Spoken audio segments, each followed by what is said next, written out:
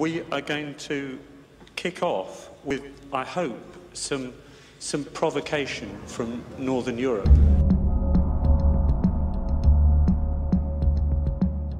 The Swedish theory of love. What does it say? It says that all authentic human relationships have to be based on the fundamental independence between people.